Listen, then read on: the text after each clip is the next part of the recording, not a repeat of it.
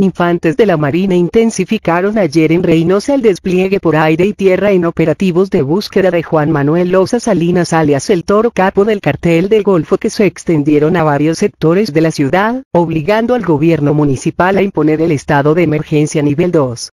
Durante la contingencia, donde se reportaron tiroteos, bloqueos en accesos a colonias, sobrevuelos rasantes y un saldo extraoficial de tres civiles abatidos, el ayuntamiento activó primeramente a las 18.59 horas el semáforo amarillo en sus páginas de Facebook y Twitter. Acceso bloqueado a las colonias Américo Villarreal y La Joya. Posible situación de riesgo en ese sector. Se recomienda circular por vías alternas y tomar precauciones. Más tarde, a las 21:29 horas, la alerta fue elevada a semáforo naranja. Situación de riesgo en sector Cumbres y Colonia San José. Se recomienda evitar por el sector y tomar precauciones. Desde la tarde las situaciones de riesgo empezaron a ser reportadas desde las 18 horas en redes sociales con la presencia de grupos armados y el sobrevuelo de helicópteros. En la carretera Reynosa-San Fernando, se constató la instalación de un retén de inspección de la Marina en el acceso a la colonia Balcones de Alcalá donde infantes restringieron la entrada y redirigieron el tráfico vehicular para proteger la integridad de peatones y conductores durante el operativo en ese sector. Los bloqueos se extendieron a las colonias Villa Esmeralda, Esperanza, Voluntad y Trabajo, Valle Soleado, Villas de Imag, San Valentín, entre otras.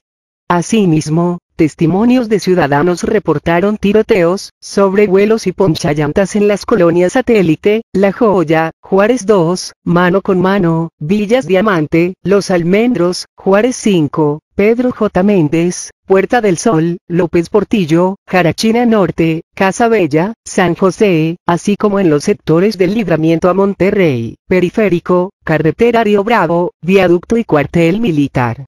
En sitios web especializados en alerta ciudadana, usuarios subieron videos donde se observaban las movilizaciones de las tropas por tierra con apoyo de helicópteros. Hay incertidumbre la ausencia de información oficial acrecentaba anoche las interrogantes entre la población sobre los motivos que originaron las incursiones e incluso se especulaba la captura de hombres armados.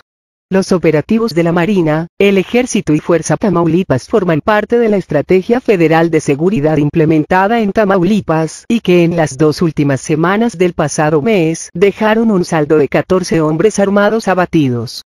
Hasta el cierre de edición a las 1.30 horas, el Grupo de Coordinación Tamaulipas que aglutina a todas las instancias de seguridad federales y estatales no había emitido ningún pronunciamiento sobre los hechos. Ante el vacío informativo, no se contaba con información disponible sobre el balance oficial de abatidos, heridos o detenidos durante la emergencia de anoche que se mantenía en curso la madrugada de hoy martes. Arrecía la cacería doble semáforo. El ayuntamiento de Reynosa activó primeramente a las 18.59 horas el semáforo amarillo en sus páginas de Facebook y Twitter y a las 21.29 horas, la alerta fue elevada a semáforo naranja. Situación de riesgo en sector Cumbres y Colonia San José. Se recomienda evitar por el sector y tomar precauciones.